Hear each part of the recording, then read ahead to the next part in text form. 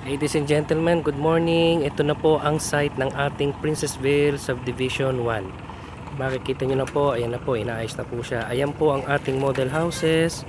At makikita nyo na po, inaayos na po lahat. Ayan po ang site. Makikita nyo po nakalubog na po ang ating septic tanks. Full swing na po ang ating construction. Ito po ang buong site. Approximately 5,000 square meters. Townhouse units by Princessville ranging from 1.7 million upwards. Ayan po. Ayan po ang main access road. Ayan po ang ating model units. Elmar and Jerome.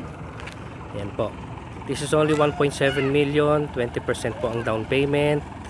May kita nyo na po na nakaano po na ho tayo rito sa community rito. Full swing ng production. Ayan.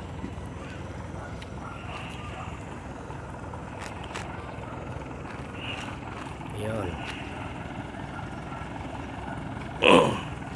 So grab this opportunity dahil ito po ay malapit sa lahat. Dito lang po ito sa may Sampaloc, Bagumbong. Ayan po. Okay.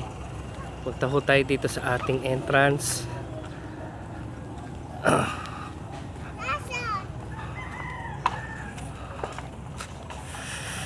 Ayan po ang model units. Okay. Dito po ang main access road palabas. Okay. Yun po. Dito po.